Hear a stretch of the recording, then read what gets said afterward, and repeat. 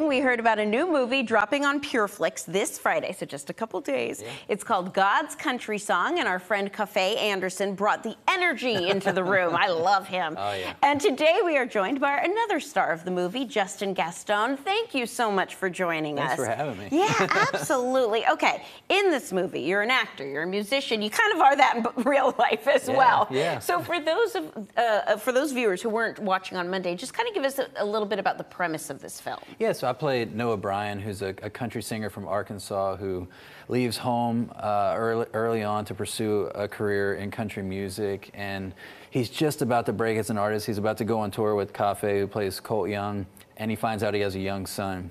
And so he's he's at this place where he's like, my career's about to take off. Am I am I gonna follow my dreams, or am I gonna step up and be a man and take care of my son? So that's sort of sort of the the premise of the movie. And it's just a movie about faith and family and second chances. Oh, yeah. right in time for Father's right Day. For Father's and Day. the kid that plays your son is JJ. adorable. yeah, JJ oh steals the show. Gosh, in the trailer there were some really cute moments yeah. of him. Yeah. He's great. Okay, so we do have a little clip, okay. and we'd love to take a listen right now and show everybody.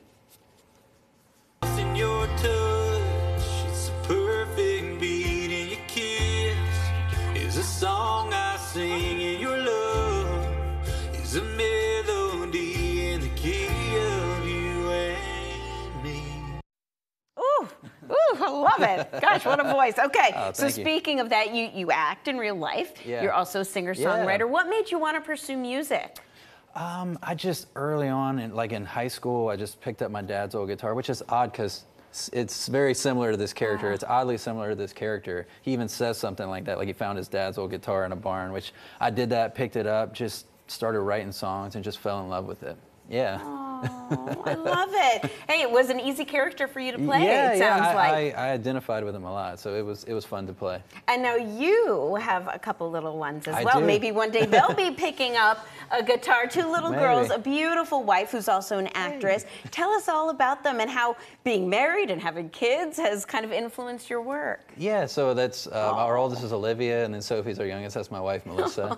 and uh, yeah, I mean they're they're they're my favorite thing in the whole world, and it definitely helped in this role, like I, I, would have had no idea, which which is interesting because Noah has no idea how to handle a child. so it was kind of like going back to those early stages of like, what was it like when I first held Olivia for the first time and Sophie, and so yeah, it, it's they're the best thing in the whole world, and, and I think they really helped me to prepare for this role. oh, okay. So what are you going to say when they either come to you and say, "Daddy, we want to be on TV," or "We want to play music"? Well, I, I mean, I, I, you know, it's weird with kids because I'm like, if you know, I'm like, if you ever want to learn piano, let me know. Like, I'll teach you, but I'm trying not to like force it on them because right. I don't want them to like resent it or anything like that. But Olivia, actually, because of this movie, seeing JJ and like meeting him, it's kind of been like Dad, I think I want to be an actor. So I'm like, okay, well, if, if something you want to do, like, I'll support that. But I want to make sure, like, it's something that they actually want to do. Right. You know, because I don't want to push them into it if, if they don't want to do it. Aww, it's a, not for the faint of heart. amazing girl. no, it isn't. That's for sure.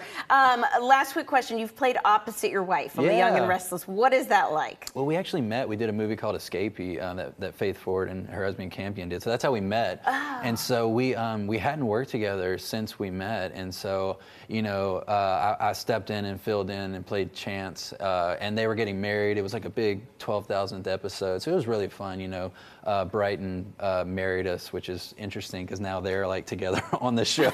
but it's it's it was fun to just work with everyone. You know, my wife's been on there for 10 years, and wow. so it's like a family, and and it was really fun. I mean, I, I love working with her, and and it was a really good time. Oh, that's great. Well, thank you yeah. so much for being here. You're part of our family now. Thank you. Next time you got to bring the wife and the kids. Yes, they would love it. Absolutely. And please, everybody at home, check out God's Country Song. It starts premiere, excuse me, it starts streaming on PureFlix this Friday, and it's sure to be a great Father's Day flick. So take a look.